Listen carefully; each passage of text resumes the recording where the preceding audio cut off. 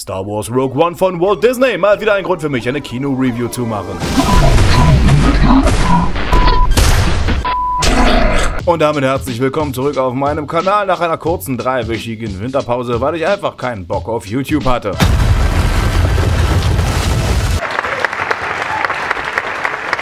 Und auch diesmal versuche ich mich kurz zu fassen, denn viel gibt es zu Rogue One eigentlich nicht zu sagen.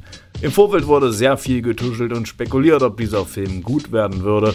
Und sicher, ein Gareth Edwards galt auch bei mir nach Godzilla nicht als die sicherste Bank. Hinzu kamen massive Nachdrehs, die für die zweite Hälfte des Films angesetzt wurden. Und es gab sogar Leute, die behaupteten, Disney würde damit beginnen, die Star Wars Lizenz auszuschlachten. Meine größte Angst. Ich hatte eigentlich wenig Bedenken, denn wie ich in meinem Feedback-Video bereits sagte, ist es für mich als Filmfan immer besser, wenn eine Filmlizenz durch das Drehen von Filmen verwurstet wird, als durch das Herstellen von Bettwäsche mit Prinzessin Lea auf pubertierender Pimmelhöhe. Angst vor demselben Schema F hatte man auch, doch zum Glück kann man hier Entwarnung geben, denn wenn Rogue One eine Sache richtig macht, dann ist es zu versuchen, einen anderen Ton zu treffen als die bisherigen Star Wars Filme. So kommt man dieses Mal mit einem düsteren Kriegsfilm daher, der sich dennoch wie ein Fanfilm anfühlt, eigenständig funktioniert und trotzdem jede Menge Wiedererkennungswert bietet. Ein typisches Marvel rundum sorglos Paket, wenn man so will.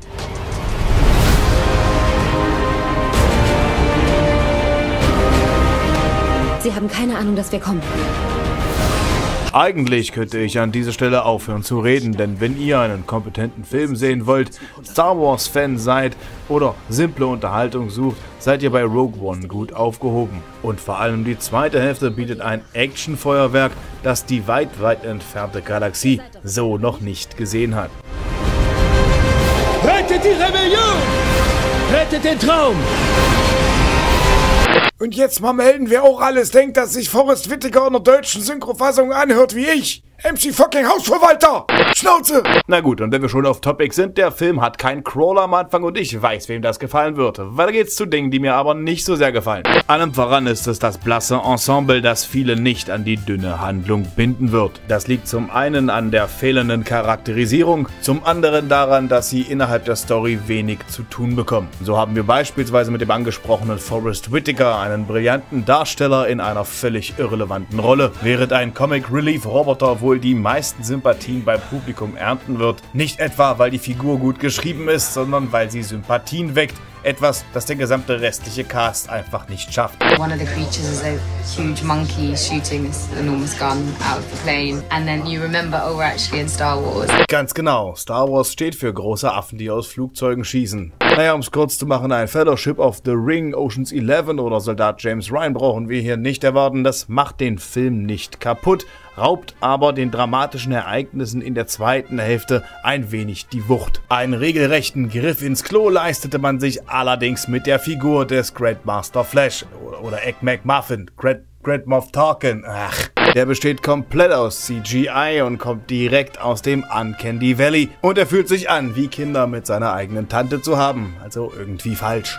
Warum man sich schlussendlich dazu entschied, diese Figur überhaupt einzubauen, wissen wahrscheinlich bloß die Macher. Mir ist es ein wenig schleierhaft. Aber es kann durchaus sein, dass ich die Petition wütender Star Wars Anhänger im Internet verpasst habe. Wie von Talken, oh wie will Riot! Abschließend möchte ich mich persönlich nochmal über das ganze Augengezwinkere und den Fanservice beschweren. Das ist aber wirklich sehr subjektiv, denn ich weiß, das kann anderen sehr gut gefallen. In meinem Fall ist es so, dass ich das Gefühl hatte, dass dieser Subtext gegen den ernsthaften Ton anarbeitete. Und jetzt kommen wir mal ganz kurz zu einem Spoiler-Part. Spoiler-Part. Weiter bei alle sterben, selbst der chinesische Markt. Aber darum soll es überhaupt nicht gehen. Mir geht es um diesen Typen hier, der den Todesstern baut. Wir wissen alle, in Star Wars Rogue One geht es darum, wie die Rebellen an die Pläne kommen, um den Todesstern letztendlich zu zerstören. Aber jetzt mal ehrlich und bei aller Liebe zu New Hope, wie schwer kann es sein, irgendjemanden zu verklickern? Fliegt durch den scheiß Korridor und schießt durchs Loch am Ende. Und warum eigentlich durch den scheiß Korridor fliegen? Was ich damit sagen will ist, die gesamte Handlung von Rogue One basiert auf einem Kritikpunkt, den ich an New Hope habe. Und das finde ich irgendwie schade. Außerdem, was ist das für ein bescheuerter Schwachpunkt, den du in den Todesstern eingebaut hast, wenn gerade mal ein Jedi, der eigentlich nicht existieren sollte, dazu in der Lage ist, diesen Schuss auch zu versenken? Oder, oder wusstest du von Luke, oder... Äh.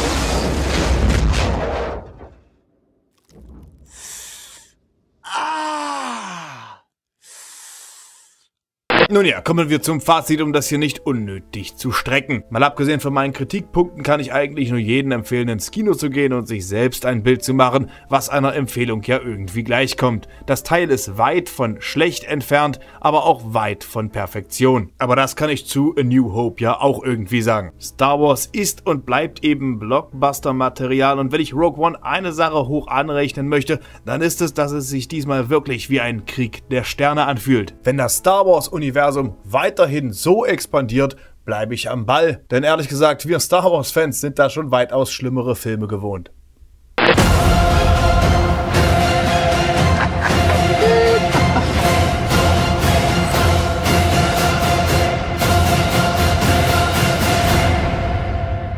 May the Force be with us. In diesem Sinne, Danke für ein schönes Jahr 2016 auf diesem Kanal. Ich wünsche euch schöne Weihnachten und guten Rutsch. Wir sehen uns nächstes Jahr wieder.